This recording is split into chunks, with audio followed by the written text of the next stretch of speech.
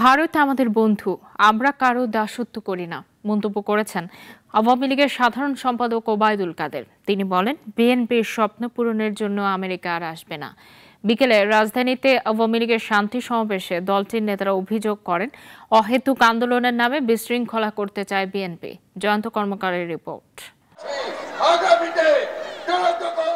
দুপুরে মোহাম্মদপুরের গজনবী রোডে শুরু হয় আওয়ামী লীগের শান্তি ও উন্নয়ন সমাবেশ।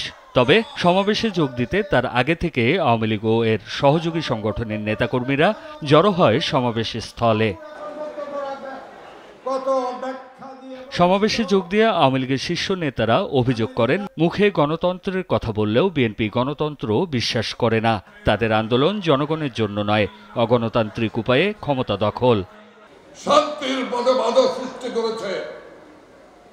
হত্যার পথ বেছে নিয়েছে। ধ্বংসের পথ বেছে নিয়েছে ওই বিএনপি জামাত অবশক্তি বিদেশি প্রভুর সহায়তায় ভাবছেন সরকার পতন ঘটে নতুন কোনো অসামরিক সরকার গঠন করা যাবে। আপনাদের এই স্বপ্ন দুঃস্বপ্ন হিসেবে বিবেচিত থাকবে। সমাবেশে বিএনপিকে বেকুবের দল আখ্যা দিয়ে ওবায়দুল কাদের বলেন ডোনাল্ড ব্লু আসছেন শেখ হাসিনা সরকারের সঙ্গে সম্পর্ক আরও এগিয়ে নিতে। আরে বেকুবের দল!